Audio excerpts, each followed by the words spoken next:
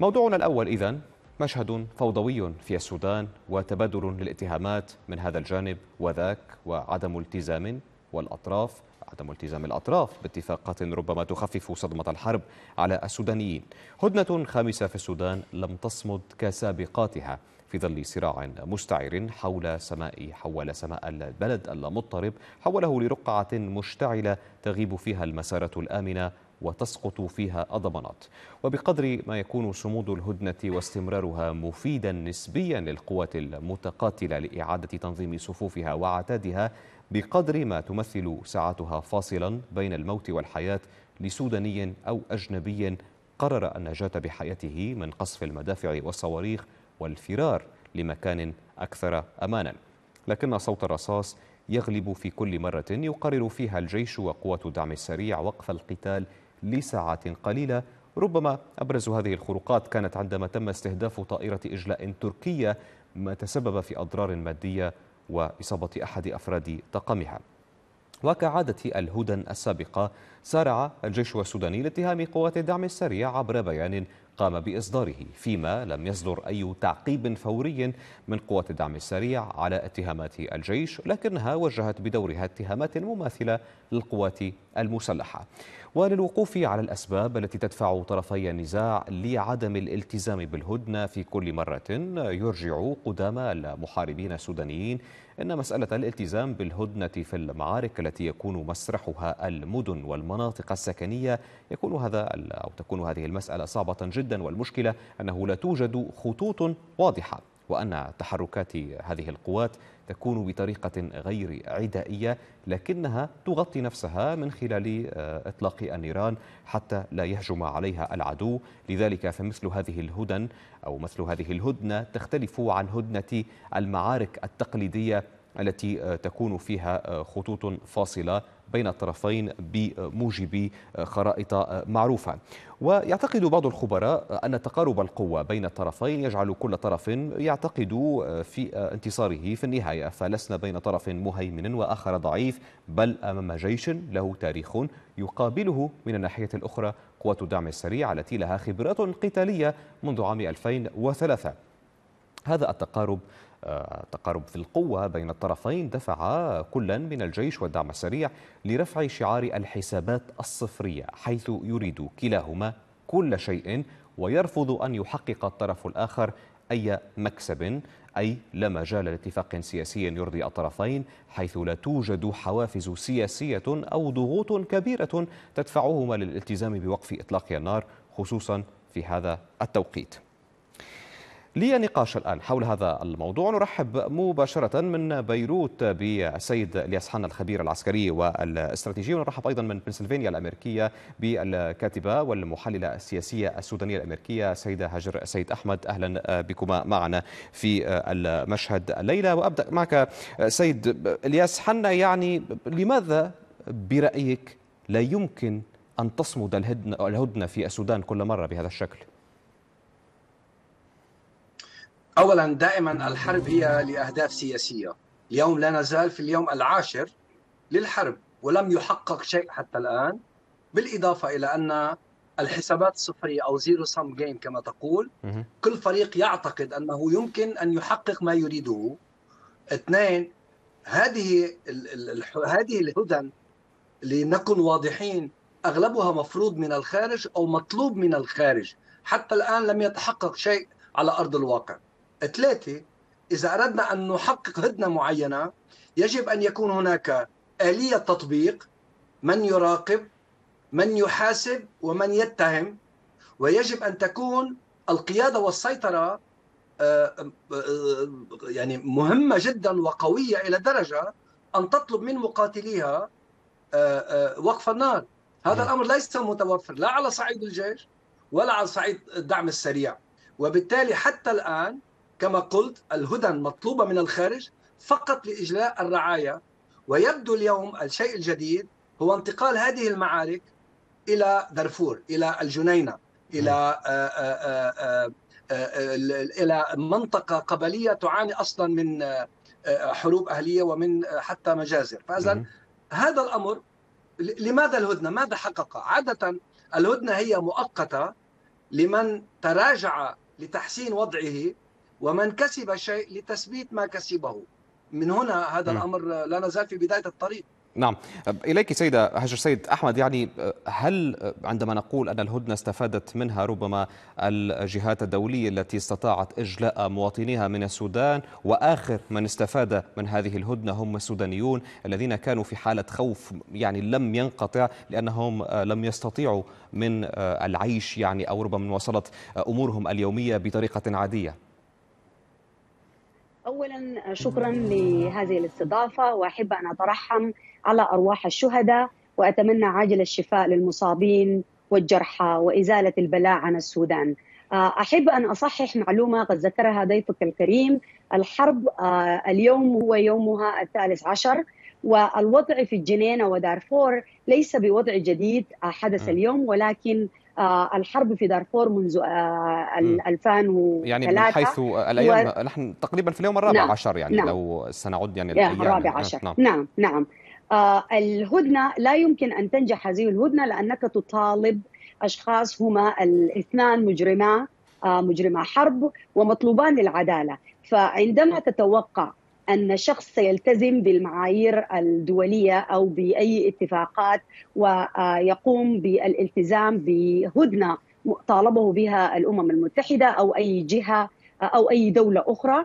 فنحن نكون هنا في وضع الحالم لأن السبب الاساسي في تفشي هذه الحرب هو حرص أو رغبة الطرفان في السيطرة على الحكم في السودان. وهنالك تدخل كبير من دول أخرى فالمشكلة مشكلة السودان ليست مشكلة داخلية فقط ولكن هي مشكلة تقوم بها أطراف أخرى ودول أخرى يعني بالنسبة لك هناك تقارب في القوة نعم. بين الطرفين يعني بين قوات الدعم السريع والجيش نعم. حتى يستطيع كل منهما أو حتى يظن كل منهما أنه بإمكانه أن يحسم المعركة نعم نعم. الدعم السريع يقوم بالتحصل على الأسلحة والمال من دول أخرى كروسيا والصين وهنالك تعاقدات كثيرة قد تعلم بها عزيزي وقد يعلم بها مشاهديك.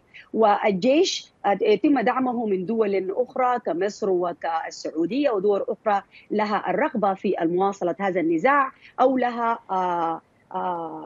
رقبات في التحكم بالوضع في السودان. الجيش والدعم السريع نعم نعم. آه الجيش والدعم السريع هما آه الولد الشرعي للنظام السابق لنظام الكيزان.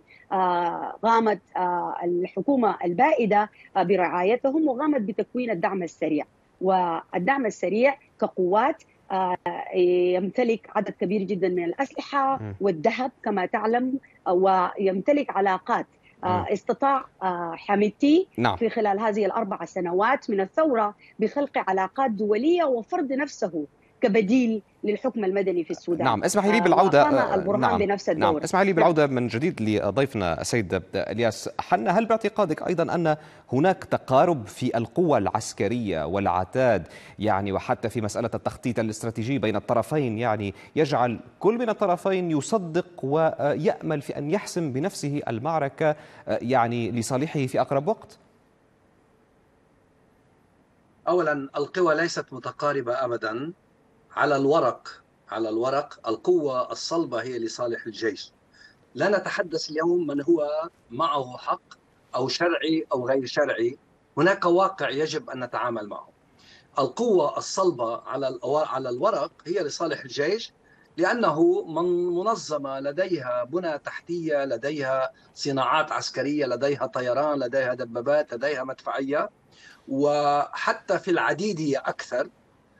مقابل تقريبا ما يقارب ال ألف من قوات الدعم السريع التي لديها أسلحة خفيفة إلى حد ما متوسطة وبالتالي تقاتل بطريقة مختلفة. ولكن اليوم دائما دائما في الحروب يقال أنه ليس الأمر بما لديك الأمر بكيف تقاتل فيه. يعني اليوم عندما تذهب إلى الخرطوم خرطوم بحري إلى أم درمان إلى المدن وقتال المدن هذه المدن ليفلز كما يقال. يعني تساوي بين المتقاتلين. يعني لا يمكن حتى الآن داخل المدن الأساسية استعمال الطيران بالمطلق.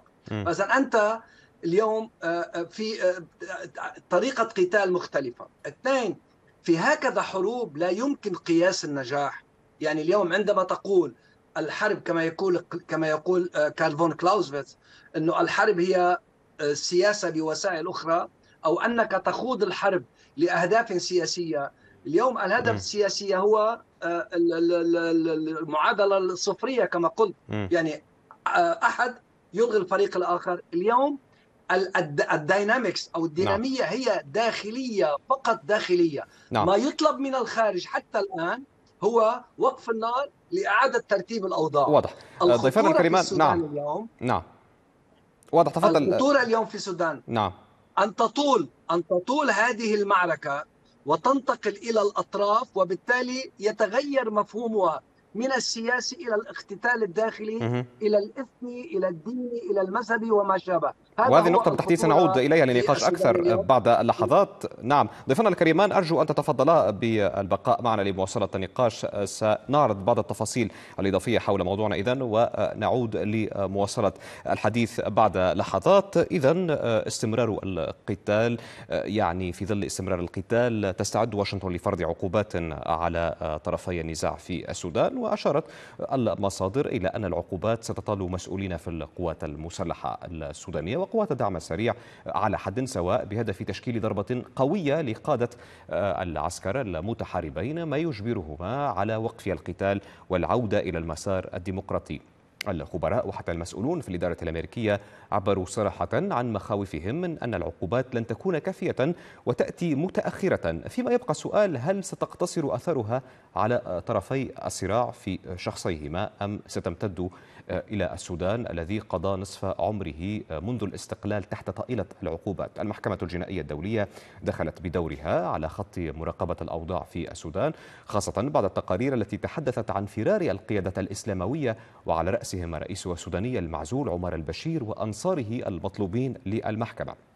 وقبل انفجار الصراع الأخير بين الجيش وقوات الدعم السريع وقبله الانقلاب العسكري. واجه السودان في العقود الأخيرة مجموعة من العقوبات الدولية والأمريكية وتسببت هذه العقوبات رغم تفاوتها في تعثر الاقتصاد السوداني والمقاطعة السياسية لسنوات طويلة قبل أن يرفع جزء منها أخيرا.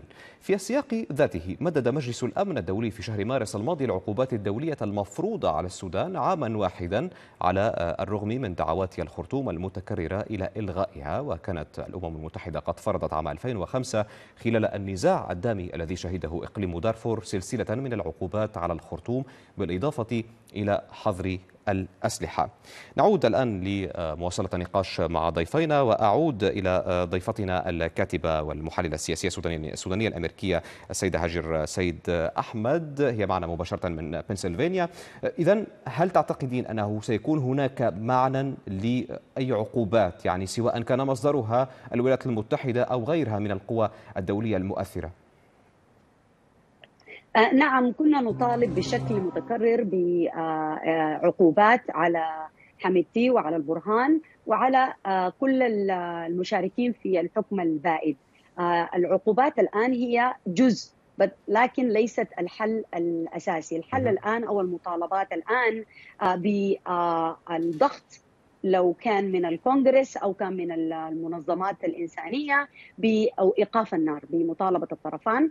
بإيقاف النار بإيجاد طرق آمنة لإخراج السودانيين الموجودين داخل مناطق الحرب سواء لولايات مجاورة لولايات داخل السودان أو لدول حدودية. كل هذه المطالب يطالب بها الجميع الناشطين وكل الأشخاص السودانيين الموجودين داخل السودان أو خارجه. العقوبات التي ستفرض الآن وخبر خروج البشير وبقايا الحكومة البائدة هو خبر صحيح ولأن المحاسبة لم تتم من اليوم منذ اليوم الأول. وهذه كانت مطالبنا منذ بداية الثورة بمحاسبة كل من قام بعمل إجرامي ضد الشعب السوداني. وكما ذكرت يا عزيزي هذه الحرب لن تطال الجيش والدعم السريع فقط ولكن الخاسر الأساسي أو الخاسر الوحيد هو المواطن السوداني. فعلينا أن نضع هذا الاختبار في كل الخطوات التي سنقوم بها. آه واحدة من الأشياء التي أتمنى أن نطالب بها الآن هو آه أن نضغط كمجتمع دولي وكأفراد وكوكالات إعلام مم. لكن لكن ألا تعتقدين أن المعادلة ستكون صعبة يعني تسليط عقوبات على القيادات ولكن دون أن يتأثر الشعب السوداني بها ستكون صعبة ولا ألا تتفقين مع ذلك؟ صعبة نعم صعبة جدا ولكن هنالك بند هو اسمه ال targeted sanction sanction واللي هي تحديد عقوبات بأسماء الأشخاص أو الجهات. يعني مثلا يمكنك أن تحدد عقوبات على الدعم السريع كميليشيا ويمكنك بتحديد عقوبات لحميدتي وأخ حميدتي عبد الرحمن دقلو أو الأسرة بشكل عام. واضح. وعندهم من الممتلكات. لكن في رأيي الوضع الآن يجب أن نضغط في إنهاء الوضع المأساوي والحرب نعم. في السودان اولا والوضع الإنساني للشعب السوداني كمطلب نعم. ثاني واضح أعود إليك سيد إلياس حنا من بيروت وأنت كنت أشرت منذ قليل إلى مسألة انزلاق الصراع أو إمكانية انزلاق الصراع إلى ما هو قبلي أو إثني وما إلى ذلك يعني هل تعتقد أن بوادر تحول الصراع إلى هذا المستوى أصبحت ظاهرة الآن؟ هي في بداياتها عندما نتحدث عن عدم القدرة على الحسم يعني في تاريخ الحروب الأهلية دائما البلد الذي تعرض لحرب أهلية سابقة هو عرضة للعودة إلى هذه الحرب. هذا أول شرط. ثاني شرط تعود الحرب الأهلية عادة حسب كيف حلت ال conflict resolution كيف حلت الحرب التي قبلها. والأهم والبند الثالث هو تنتهي الحرب الأهلية في بلد عندما يحسم فريق نهائيا على الفريق الآخر عندما ينتصر نهائيا. حصل هذا الأمر في سريلانكا بين التاميل والحكومة السريلانكية وحتى بمساعدة الصينية. اليوم عندما نتحدث عن السودان السودان هو في حالات يعني خمس انقلابات عسكرية ناجحة 32 انقلاب فاشل حروب أهلية في الجنوب وفي الغرب وبالتالي عدم استقرار لا استقرار سياسي. الخطورة في هذا الأمر كما قلت عدم إمكانية الحسم ستوزع مراكز الاقتتال إلى أمكنة معينة وبالتالي كل تركيبة عسكرية ستكون مست... يعني ديسنترلايزد كما يقال. هي ليست مرتبطة بالقيادة الأساسية وبالتالي تنتقل إلى المناطق و18 مقاطعة حسب ما أذكر أو محافظة قد تنتقل إليها مع 517 أو 500 قبيلة أكثر. 56 إثنية معينة 117 لغة محكية ومكتوبة. هذا الأمر صعوبة. اثنين والأخطر على السودان أنه لا يوجد هناك إطفائي قادر على الحل. يعني من هو مستعد للتدخل داخل السودان لحسم الأمر؟ لا أحد مستعد. إن توزع هذه الاقتتال على السودان هذا الأمر سيجلب الدول الإقليمية وبالتالي الدول الغربية والسودان كما أقول ليس أهمية وأولوية للغرب وحتى لا لروسيا وحتى لا للصين. الأولوية اليوم هي ما يجري في جنوب شرق الصين عفوا جنوب بحر الصين وما يجري في أوكرانيا هذه الحرب اليوم في السودان هي نتيجة للتطورات والدينامكس الذي يحصل على صعيد التحول في النظام العالمي وإعادة نعم. توزيع القوى. واضح. أشكركم جزيل الشكر على مشاركتكما معنا في النقاش من بيروت. السيد الياس حنا الخبير العسكري والاستراتيجي ومن بنسلفانيا الكاتبة والمحللة السياسية السودانية الأمريكية السيدة هاجر سيد أحمد. شكرا جزيلا لكما.